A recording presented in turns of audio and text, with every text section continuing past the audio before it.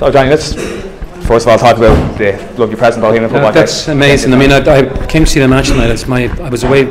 I've been on the road since December of last year. I've only been coming in and out of Ireland, like sort of basically to see the family and this sort of thing. So I've missed most of the season. I've been keeping an eye on it though to see how the team's been doing, and I think Owen's done an incredible job. And um, I wasn't expecting this, and uh, the uh, the club gave me this, and I'm speechless.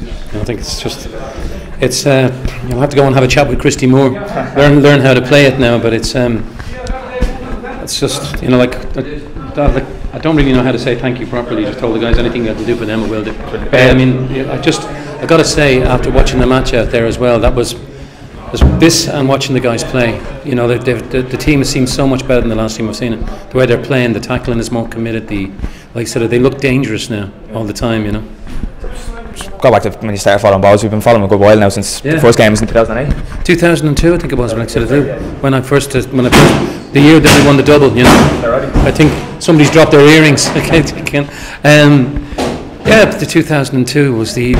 I was. I did the late late, and I got a phone call from um, my management in Germany to tell me the Bohs were looking for me, and I had found out they wanted that uh, Kevin Hunt, I think, was. Uh, Doing a testimonial the next day, playing his last game for the team before going to England with his kids and his wife. And I, he asked me would I come and, you know, just come to the match. And I said I'd be delighted to, and came. And I ended up singing "Hold Me Now."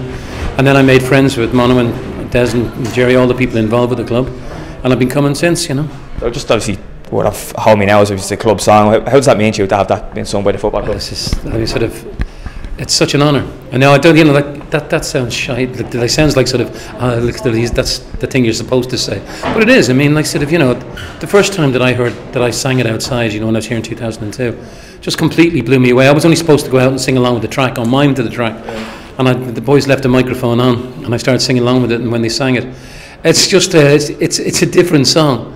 And the whole story behind it, I was told about when you know, like them singing it to the fans over in Norway and stuff like that. It's the whole history behind it.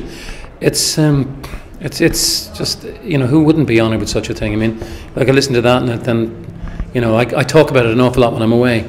You know, like sort of people are asking me about hold me now, different aspects of the things that it's meant to my life. Winning the Eurovision the second time with it, and, having hit, it was a hit in America and stuff like this as well. And then I think, and then as you're saying, and this my football team in Ireland, the Bohs, like I said, they uh, they use it as the away song, you know, sort of, and they do a brilliant version of it. You- You haven't heard it properly, I normally say, until you hear the Bohs sing it, the Bohs fans sing it.